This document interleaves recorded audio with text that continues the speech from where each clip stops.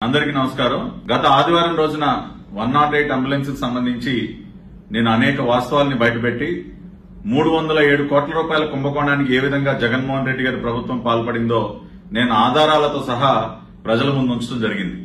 అంటే ఈ కుంభకోణానికి సంబంధించినటువంటి అనేక జీవోలు కానివ్వండి డాక్యుమెంట్స్ అన్ని కూడా ఆ రోజున నేను ప్రజల ముందు ఉంచి ఏ విధంగా అత్యంత నీచంగా పేదవాడి ప్రాణాలు కాపాడేటటువంటి వన్ నాట్ ఎయిట్ అంబులెన్స్ సర్వీసుల్లో కూడా మూడు వందల ఏడు కోట్ల రూపాయల కుంభకోణానికి ఏ విధంగా పాల్పడిందో నేను ప్రూవ్ చేయటం జరిగింది. కానీ ఆ తర్వాత చాలా ఆశ్చర్యకరంగా దాదాపు డెబ్బై రెండు గంటల పాటు ఎక్కడా కూడా ఎటువంటి స్పందన లేదు జగన్మోహన్ రెడ్డి గారి ప్రభుత్వం వైపు నుంచి. సంబంధిత శాఖ మంత్రి గారు ఆరోగ్య శాఖ మంత్రి ఉప ముఖ్యమంత్రి గారు ఆళ్ళ నాని గారు కానివ్వండి ఈ కుంభకోణానికి బాధ్యుడైనటువంటి విజయసాయి రెడ్డి గారు ప్రతిరోజు పది పదిహేను ట్వీట్లు పెట్టి ఒక ట్విట్టర్ రెడ్డిగా పేరు తెచ్చుకున్నటువంటి విజయసాయి రెడ్డి గారు మరి కనీసం ఒక్క ట్వీట్ కూడా పెట్టలేకపోయారు సమాధానం చెప్తూ.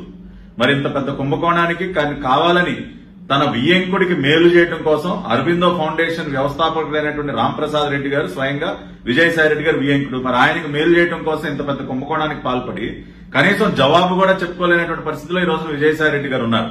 మరి ఆయన మా మౌనం వహించడం దాన్ని బట్టే ప్రజలందరూ కూడా అర్థం చేసుకున్నారు. నిజంగా కూడా వన్ నాట్ ఎయిట్ అంబులెన్సుల నిర్వహణలో పెద్ద ఎత్తున స్కామ్ జరిగిందన్న వాస్తవం ఎప్పుడైతే మీరు మౌనం వహించారో ఆ రోజునే ప్రజలందరికీ కూడా అర్థమైంది. కానీ నిన్న సాయంత్రం రాత్రి ఎనిమిది గంటల ఆ ప్రాంతంలో అంటే జగన్మోహన్ రెడ్డి గారి ప్రభుత్వానికి అంటే అన్ని కూడా రాత్రులైన తర్వాత చేయటం అలవాటు. ఎటువంటి తప్పుడు పనులు చేయాలన్నా చీకటి పనులు చేయాలన్నా కూడా వీళ్ళు రాత్రి ఎనిమిది గంటలకో తొమ్మిదింటికో పదింటికో చేస్తుంటారు ఆ విధంగా నిన్న రాత్రి మీడియా వాళ్ళకి ఒక నోట్ పంపించడం జరిగింది. ఏంటా నోట్ అని చూస్తే clarifications on procurement of one nought eight and one nought four vehicles and service provider అని ఒక నోట్ పంపించారు. సరే ఏముందా ఈ నోట్లో అని చూస్తే పూర్తి పచ్చి అబద్దాలు అన్ని అవాస్తవాలు. ఏం చెప్తున్నారండి వీళ్ళు? గత ఐదు సంవత్సరాల కాలంలో అసలు అంబులెన్స్లే తిరగలేదంట రాష్ట్రంలో. పూర్తిగా నిర్వీర్యం అయిపోయిందంట. అంబులెన్స్ వ్యవస్థ అంతా కుప్పకూలిపోయిందంట. ఇప్పుడు నేను కొన్ని ప్రశ్నలు అడుగుతా జగన్మోహన్ రెడ్డి గారి ప్రభుత్వాన్ని. అయ్యా రెండు వేల పదిహేను జులై మూడో తేదీన జియో నెంబర్ మూడు వందల అరవై ఆరు ద్వారా రెండు వందల డెబ్బై ఎనిమిది అంబులెన్సుల్ని కొత్త అంబులెన్సులు కొనుగోలు చేసింది ఎవరండి? చంద్రబాబు నాయుడు గారు కదా? ఆ రోజున అంబులెన్స్ వ్యవస్థను ఇంకా పటిష్టపరచాలని అధికారంలోకి వచ్చిన మొదటి సంవత్సరంలోనే రెండు వందల డెబ్బై ఎనిమిది అంబులెన్సులు కొనుగోలు చేయడం జరిగింది. అదేవిధంగా గిరిజన ప్రాంతాల్లో ఉన్నటువంటి గిరిజనులకు సేవ చేయడం కోసం టూ వీలర్ అంబులెన్సులు ప్రవేశపెట్టాం దేశంలోనే మొట్టమొదటిసారిగా.